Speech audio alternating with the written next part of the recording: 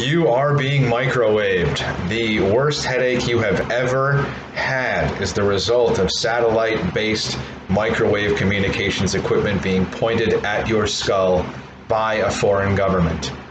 5,000 plus satellites orbiting the Earth, many of them going over the top of the United States every single day. There's one over your house at least once a day. That's a fact. The worst headache you've ever had was delivered to you by satellite. I promise you that.